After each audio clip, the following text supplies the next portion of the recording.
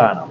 මොකද අපි හැම වෙලාවෙම සූදානමින් හිටියේ. ඒ සූදානමෙන් හිටියා ජනතාව ජනතාවගේ තීන්දුව ගත්තා. ගේ හදාගන්න තාම හොඳ ඉඩමක් ලැබුන්නෑනේ අයියෝ දැන්ම දාන්නකො දසත මාකට ඩොට්ටෙල්කේකට මතකනේ නැති දෙයක් නැති තැනක් නැවත වතාවක් ඒ 23 ලක්ෂයක් වෙච්ච කලෙහිගුණ දන්න ජනතාවත් එක්ක එකතු වෙලා ඒ වගේම මේ වෙලාවේ රටේ අනාගතයේ රටේ ඉදිරි ගමන ගැන රටේ ප්‍රජාතන්ත්‍රවාදයේ සෞඛ්‍ය ගැන කල්පනා කරන මිනිසුන් එක්ක එකතු වෙලා අලුත් ගමනක් යන්න අපි සූදානම් වෙනවා.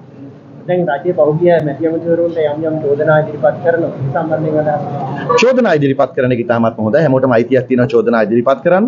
ඒ වගේම චෝදනා විමර්ශනය කරන්න ඕනේ. ඒ චෝදනා චෝදනා වලට පමණක් සීමා වෙන්නේ නැතුව ඒවා විමර්ශනය කරලා ඒවට අවශ්‍ය නීතියේ තීන්දුව తీරන ගන්න අපි දෙන්න පුළුවන් හැම සහයෝගයක්ම ලබා දෙනවා. මොකද හැම වෙලාවකම මඩවලට එහෙම නැත්නම් ෆයිල් වලට එහෙම නැත්නම් මාධ්‍ය හරහා ගිහිල්ලා චෝදනා එල්ල කරනවට එහා ගිහිල්ලා ඒ ව- විමර්ශන සිද්ධ කරලා ඒ කටයුතු කරන්න ඕනේ. හැබැයි මැතිවරණයේ ජනාධිපතිවරණය සඳහා කියන්න තියෙන තරමක් දේවල් කියලා කියලා කියලා කියලා චෝදනා ඉදිරිපත් කරලා ණය ගැන කතා කරලා බ- නොයෙක් නොයෙක් දේවල් බිත්තරවල කොමිස් ගැන පවා කතා කරලා අවසානයේදී මැතිවරණ ව්‍යාපාරයේ මැතිවරණ ඉවරුණයින් පස්සේ අද වෙනකොට නැවත වතාවක් ලංකා ඉතිහාසයේ සතියක් ඇතුළත ගත්තු වැඩිම ණය ප්‍රමාණය ගැනීමේ සූදානම සිද්ධ වෙනවා. අද දවසේදීත් අධිකම ණය මුදලක් ලබා ගන්නවා බිලියන ගණනේ. එතකොට ඒ තත්ත්වයට ගිහිල්ලා රටේ ආ, වෙනස් තැනකට රට ගෙනියන්න පටන් අරගෙන තියෙන වෙලාව. ඉතින් අපි කියන්නේ අර චෝදනා විතරක් කරන්නේ නැතුව ඒවා ප- කරන්න හැබැයි මැතිවරණය සඳහා මේ මැතිවරණේ මොකද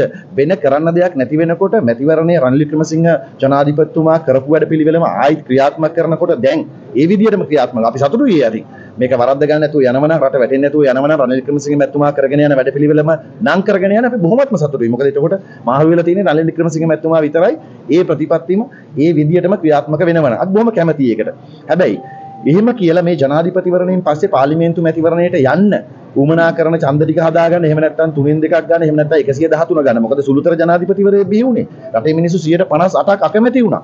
එතකොට මේ අකමැති වෙච්ච පිරිස එකතු කර ගැනීම සඳහා මාධ්‍ය සංදර්ශන දාලා පළවෙනියෙන්ම වාහන ගෙන්නලා මාධ්‍ය සංදර්ශනයක් දැම්මා.